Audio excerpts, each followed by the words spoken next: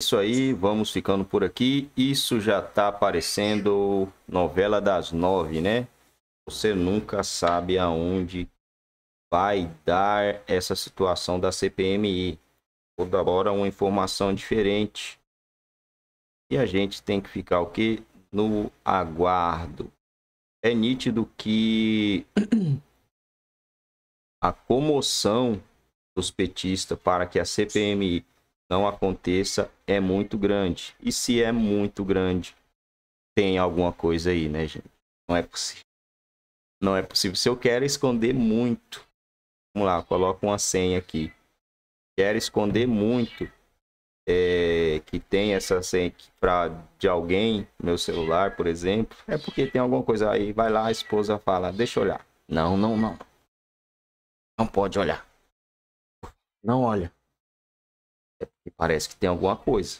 Ou então é uma estratégia do governo para que na hora que abrir a CPMI, ah, haha, bobão, não tinha nada, agora toma, né? Agora aguenta.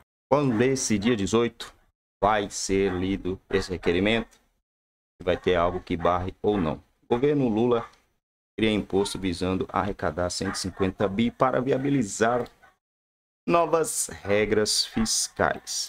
E aí, quem que vai pagar esses impostos, né?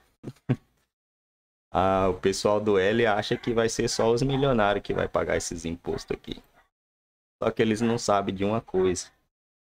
Empresa, ela vai só repassar o imposto. Só que os petistas, eles passam uma ilusão. Os empresários vão começar a pagar imposto nesse país. Quem tem muito não paga, quem não tem paga. Gente, empresário repassa imposto, ele não vai pagar. Ele não vai pagar. A Shopee não vai pagar, gente. Eles só vão repassar pro pobre. Quem vai pagar é quem compra. O povo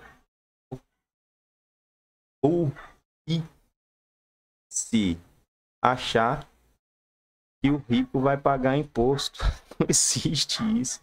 Eles estão na internet, é, agora o rico vai pagar. Não vai, vai ser repassado para o pobre, vai ser repassado para os consumidores. Simples assim.